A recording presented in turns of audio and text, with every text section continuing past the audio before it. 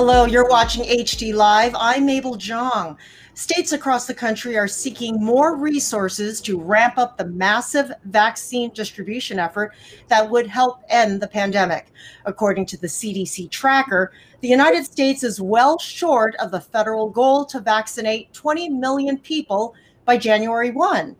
Why so behind? And what are the implications of the slow rollout? Here to address that and other crucial COVID 19 vaccine concerns is Dr. Paul Offit, Director of the Vaccine Education Center at the Children's Hospital of Philadelphia and one of the physicians on the FDA panel to approve these vaccines. Dr. Offit, nice to see you. Thank you. Are logistical challenges, both on the local and federal level, mostly to blame for the slow rollout? Yeah, well, first of all, this is hard to do. I mean, it was hard enough to to make a vaccine uh, you know, we only had this virus in hand in January of 2020. We knew the sequence. And then within 11 months, we had already done two large clinical trials proving the vaccine worked, proving it was effective in 44,000 and 30,000 people. That is an amazing accomplishment. Mm-hmm. But that's just step one. And, and the reason we accomplished it is we, because we gave money to do it. We, we put forward, this country put forward $24 billion to get us to, to have a vaccine in hand. But now comes the hard part, which is, as they say, the old saying is the hardest part of making a vaccine is making the vaccine, meaning mass producing it. That's number one. It's not so easy to do to mass produce this. It is a novel technology. And that lipid nanoparticle, that sort of complex lipid delivery system in which the messenger RNA sits, is not easily scaled up. And so that's that's one of the problems. Secondly, once you've scaled it up, then you have to put in place a distribution system, which we don't currently have in this country. Mm-hmm. And, and it's going to have to be a mass distribution system, you know, where you use, you know, large auditoriums and stadiums and churches and synagogues to mass vaccinate people. This can't be done the way we normally do vaccine. This can't be done the way we normally do flu vaccine every year. We have to have these mass distribution centers, and that also is going to re- require a lot of money. And, and today we haven't really put that that part up uh, in, into that uh, so that we, we have something that's workable right now. Right. Well, as you mentioned, it's incredibly impressive, really shocking that a vaccine is available available so soon after the discovery of that new virus. But and the vaccine is a product of messenger RNA technology, about 20 years old. Yet this is the very first time that it will be used in people in a vaccination program. So is it understandable that people are concerned, that perhaps they're scared that we don't know enough about what's going into our bodies and what could happen down the road? Sure. I mean, it's a novel technology. There's no commercial experience with a messenger RNA vaccine. That said, we've just done two large clinical trials. We did a trial of 44,000 people in the Pfizer vaccine, 30,000 in the Moderna vaccine. The size of that trial is the size of any typical pediatric vaccine. So, so that's not that's not different. You know now that you can say with confidence it's roughly 95% effective in, in, in people, including those over 65 years of age, including those with comorbidities.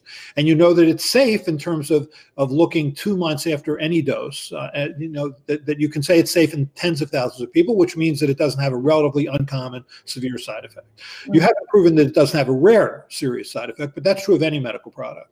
And then you you don't know how long efficacy is going to last. But you know, with 95% efficacy after two or three months, you can feel pretty comfortable that this is going to be highly effective for a while. And you don't have the time to do a two or three or four year study to see how long it lasts when 350,000 people have died this year. So I think we've mitigated a lot of the the risk by doing these two large trials.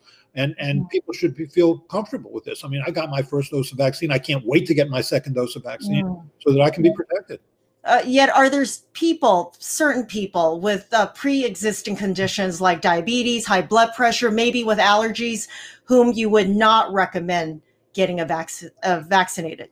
So again, people who, who are at risk of this of severe disease caused by SARS-CoV-2 um, are included in these trials. People with diabetes, people with obesity, people with chronic lung disease, people with chronic heart disease, they're in these trials just to make sure that the vaccine is safe and effective in them also. And it is. I think the only people who really can't get this vaccine are those who have ever had a serious allergic reaction to any component of this kind of vaccine. That's it. I mean, even people who've had severe allergic reactions otherwise, like to, to food items like peanuts or allergies, they can get this vaccine. They just have to wait for 30 minutes in the office or in wherever the place that they're getting it to make sure they don't have a severe allergic reaction. Okay. And what would be considered typical side effects? Right. So, so this this vaccine does have a a, a um, difficult side effect profile, if you will. So you can get fatigue, headache, muscle ache, low grade fever, joint pain, um, and as many as 50% of people who get this vaccine. It happens less frequently in people who are over 65. It happens more frequently after the second dose than the first dose. I mean, after I got the first dose, I, on day two, I had pretty significant fatigue and, and a low grade fever, but that is a small price to pay. I mean, all that is is your immune system working when your immune system sort of gears up to recognize, in this case, this SARS-CoV-2 spike protein, which is what the messenger RNA is making, um, you know, you you it makes it has certain proteins of the immune system called cytokines, which have a side effect. This is that side effect. I, we should have a different name for it. I wish the immune system had a better better public relations team because this is just your immune system working for you. Right. Okay. Now, can you be vaccinated and still spread the virus to others? Right, so we don't know that yet. The, the, two trials that were done by Pfizer and Moderna were trials to see whether or not the vaccine prevented disease, mild, moderate, or severe disease. It didn't prove whether it could prevent infection, let's say, without symptoms where you could still be contagious. Um, those studies are presumably going to be done early next year. So I, I do think people who get the vaccine um, should still consider it possible that if they are re exposed to the virus, that they could uh, asymptomatically transmit it. I, I, don't. I think that that even though um, that you may be asymptomatically infected, my suspicion is is that even though you may shed virus, it would be a much lower quantity of virus because you'd been vaccinated. So you would be less contagious than had you not been vaccinated. But again, those studies need to be done. Okay. Now, you've had a lot of experience in the development of vaccines. You co developed the rotavirus vaccine, which took about 25 years, by the way. So, going up against vaccine hesitancy and aggressive anti vaxxers is nothing new to you. What kind of messaging works when trying to convince skeptics that vaccines are worth getting, especially this new one? Right. So I think you can you can divide sort of an anti-vaccine sentiment, if you will, into two categories. One is a perfectly understandable category, what I would call the vaccine skeptic, someone who is concerned about this vaccine. I mean, you you know, it it it, uh, it hasn't been tested for very long. It's been tested now in a few million people, but not tens of millions of people. How do I know it's safe? How do I know it's effective in the long term? That's fair. I think that's a fair question. You should be skeptical of anything you put in your body. I would argue everybody who sits around that table at the FDA Vaccine Advisory Committee meeting is a skeptic. I mean, show us the data. But I think now you have data in hand that should should make you feel comfortable. So I think that in terms of the skeptic, I think the skeptic can be convinced with data that are presented in a compelling, passionate, and compassionate way. The second group I would call the vaccine cynic. These are people who believe that there's a big conspiracy out there, that the pharmaceutical companies control the government, the pharmaceutical companies control the medical establishment. They're not going to believe anything you say. As uh, Neil deGrasse Tyson says, if you've reached a conclusion that is not based on logic or reason, then logic or reason isn't going to talk you out of it. So, I, so don't even try. Um, mm-hmm. that, that, fortunately, is a very small percentage of people. Okay. Uh, you've said in the past, actually recently, uh, that normalcy could return in the fall of 2021. Are you revising your timeline at all since the vaccine rollout is so slow?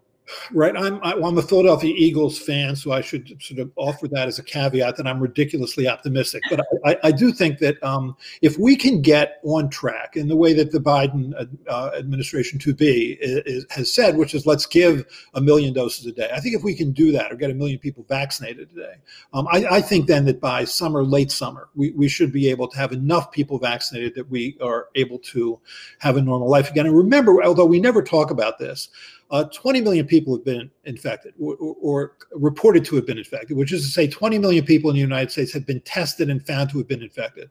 Uh, many people have asymptomatic or mildly symptomatic disease that never got tested. So if you look at antibody studies, which is a much better marker for how many people have really been infected with this virus, that 20 million f- figure is probably off by a factor of three. It's probably more like 60 million people in the United States have been infected.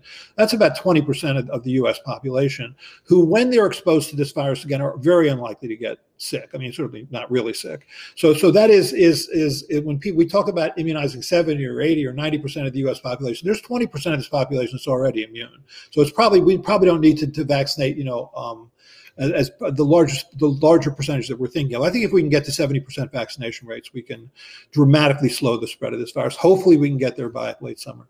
And then what will that look like? Are we still going to be walking around wearing the masks? And when will we know when the vaccinations are working?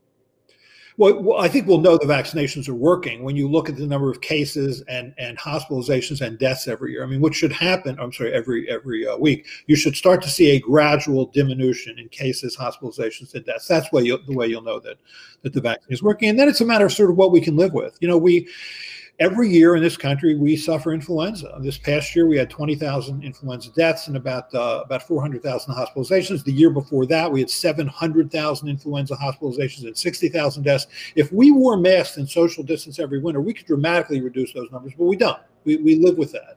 Um, and I think it may come down to that with this. When do we get to the point where we say, you know, we can live with this level of disease? Mm-hmm. Mm-hmm. Okay. And a final word on kids uh, we're starting to see some testing uh, with kids. When will we have the data to know that it will be safe for them? Right? So, so children were really not part of these trials. Uh, the Pfizer went down to 16 years of age, Moderna 18 years of age. So we don't really have data in children. And the main reason being that if you look at people less than 21 years of age in the United States, comprise 26% of the U.S. population, but only 0.08% of the deaths. So they're, they're not a high priority group, as distinct from nursing homes, for example, where 40% of the deaths of, of, from this virus have occurred. Um, the studies are already starting, um, hopefully in children hopefully we'll have data um, hopefully by the time the children go back to school next year because children do need to be vaccinated they need to be vaccinated because they too can suffer and be hospitalized and die from this. I mean, I was on service at Children's Hospital Philadelphia last week. We have children in our hospital who have this infection, and mm. uh, any anytime you can prevent a child from suffering or being hospitalized or dying, and you can do that safely, then we should do it. And I think we can do that with this vaccine. We just need to, to test it first. You can't give this vaccine to children just based on studies in adults because you have to show that in children the vaccine is also safe and effective first. All right, Dr. Paul Offit, thank you so much. Dr. Paul Offit of the Children's Hospital of Philadelphia and an advisor to the FDA. Thank you. And thank you for watching HD Live. I'm Mabel Jong.